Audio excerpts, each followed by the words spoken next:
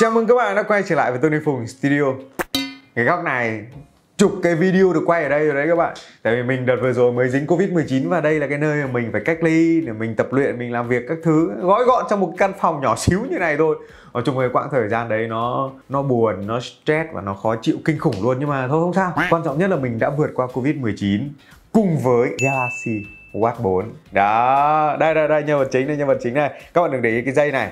Dây này là mình thay đổi một chút xíu rồi và sắp tới đây thì Samsung cũng bán rất nhiều những cái dây nhiều màu mới khác nhau để nó mix and match một cách thú vị hơn. Và thậm chí là các bạn cũng có nhiều cách để mà tùy biến cái đồng hồ này một cách thú vị hơn. Đó, bởi vì Samsung sẽ update rất nhiều cái mới trên cái đồng hồ này. Thế nên là chia sẻ lại luôn, thời gian vừa rồi mình đã vượt qua Covid-19 với em đồng hồ này như thế nào?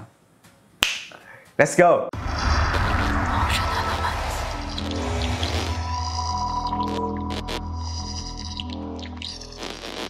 Thì uh, nếu như bạn nào mà theo dõi ờ, mình thường xuyên thì hẳn cũng biết đây là cái góc mà mình làm việc rất là nhiều. Thì mình ngồi làm việc này với máy tính các thứ bla bla mình livestream các thứ như thế này này. Rồi mình có tab 8 ultra ở đây để mình vừa làm việc mình vừa giải trí các thứ. Thì những cái này thì các bạn biết hết rồi không nói làm gì cả. Và thậm chí ở đây này đó lôi cả cái máy chạy bộ đi vào đây để mà mình uh, đi lại tập luyện thể dục thể thao các thứ vào buổi chiều.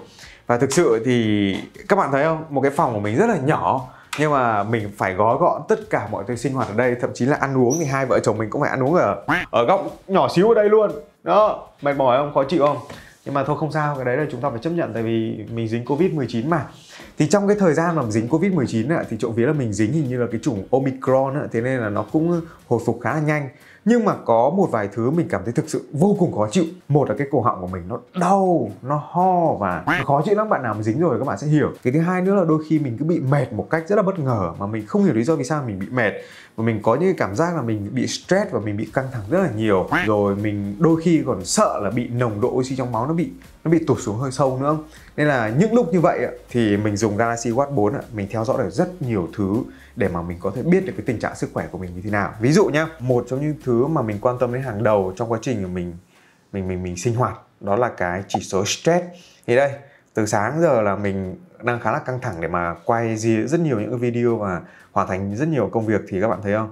Ờ, stress đang ở mức gần trung bình luôn. Đó, đương nhiên là mình chưa lên mức cao, nhưng mà mức trung bình như thế này thì mình nghĩ là quay xong cái video này thì mình cũng sẽ cần phải nghỉ ngơi đi đôi chút. Hay là mình quay sang cái nồng độ oxy trong máu thì nói chung là những cái nồng độ oxy trong máu này trên đồng hồ này thì chỉ cần trên 90% là các bạn cũng có thể tự tin về cái sức khỏe của bản thân rồi. Và thậm chí khi mà đo cái nồng độ oxy trong máu này với những thiết bị của Samsung á, thì các bạn còn phải đặt tay lên mặt bàn ở một cái khu vực nào đó cố định, sau đó để cái này gần tim. Đó. Nhờ cái cách đặt tay như thế này thì cái chỉ số đưa ra của những cái đồng hồ Samsung ạ nó cũng chính xác hơn rất nhiều so sánh với phần lớn những cái mẫu smartwatch phổ thông trên thị trường. Đấy, thấy không? Mình chỉ cần dịch chuyển một chút xíu là nó đã báo đo không thành công và mình sẽ cần phải đo lại.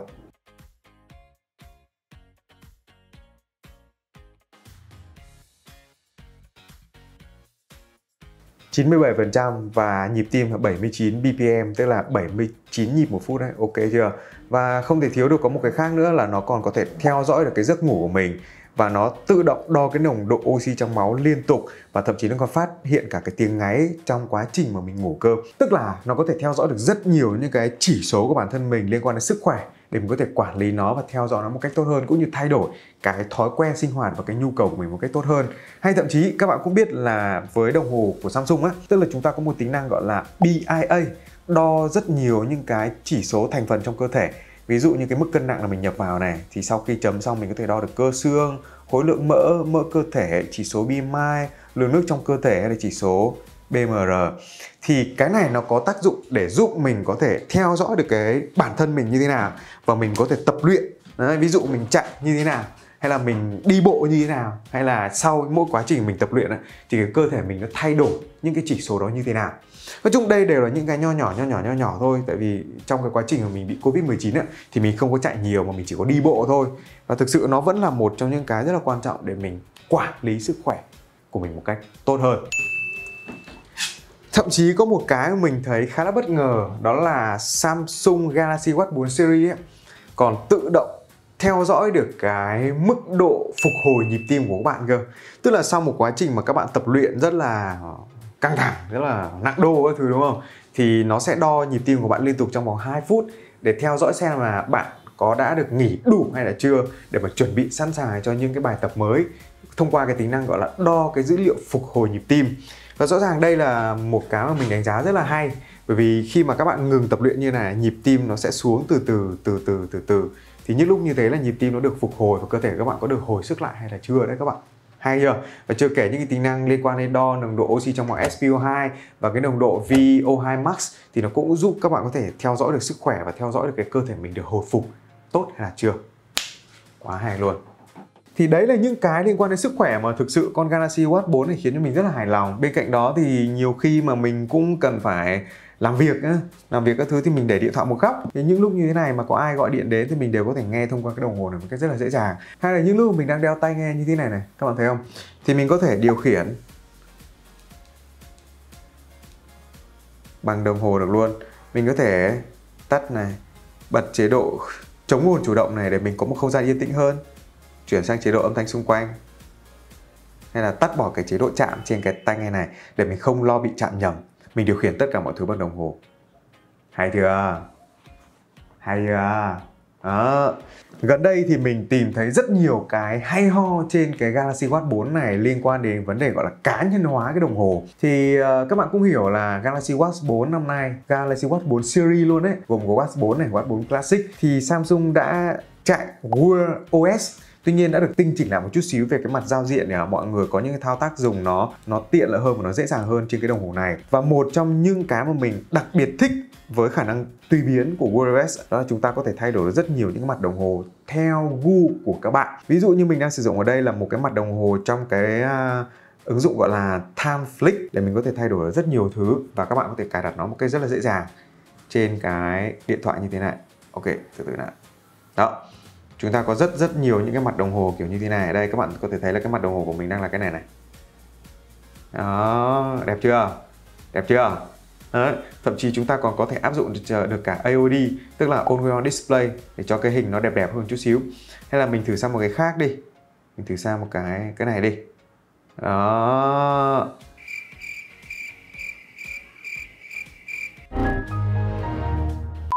Sau khi xem xong quảng cáo chúng ta có thể send to watch dung một cái. Sao? Chúng ta đã có một cái mặt đồng hồ mới. Bao đẹp, bao hị. Đó. Và với cái time flick này mình còn thấy một cái rất là hay là các bạn có thể tạo được một cái mặt đồng hồ. Ví dụ digital này. Đó.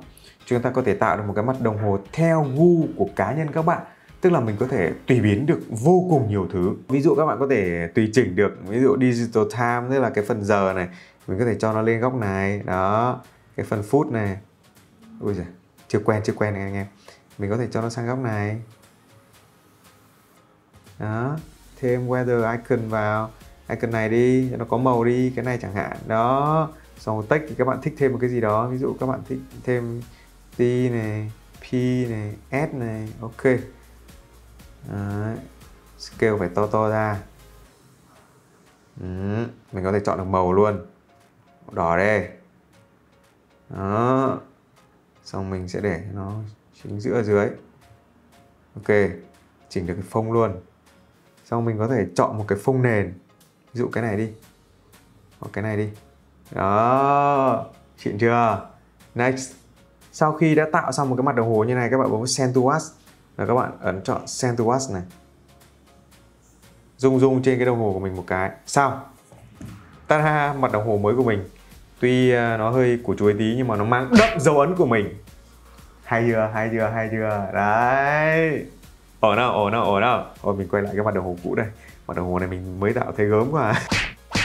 đấy tùy biến nó nhiều như thế thì các bạn thấy sao? Thích không? Mà Samsung như mình đã nói rồi, sắp tới còn bán rất nhiều những cái dây đeo đủ các kiểu màu sắc khác nhau để mà các bạn có thể tùy biến theo cái phong cách của bản thân này, theo cái bộ đồ mà các bạn đang mặc này, hay là kết hợp với cả một cái điện thoại kiểu như này đó thì nó mix em match nhiều hơn. Và bây giờ lại còn tùy biến một cái mặt đồng hồ như này theo cái kiểu phong cách của cá nhân bạn nữa nó lại quá tuyệt vời luôn, đúng không?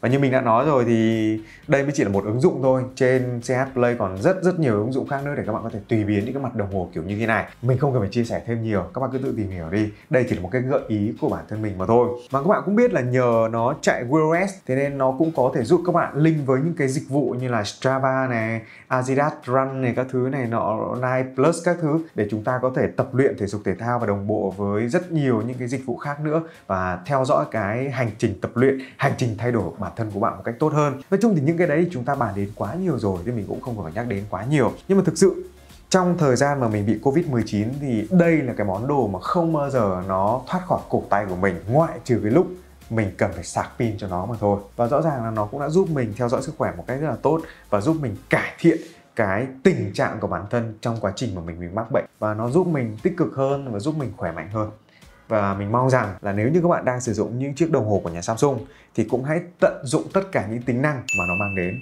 để theo dõi bản thân và theo dõi cơ thể mình một cách tốt hơn. Và trước khi kết thúc video này thì phải quảng cáo một tí. Chúng ta bắt đầu từ ngày 16 tháng 3 đến 31 tháng 3 năm 2022 ấy, thì mua Galaxy có bộ chúng ta có rất nhiều deal siêu chất luôn.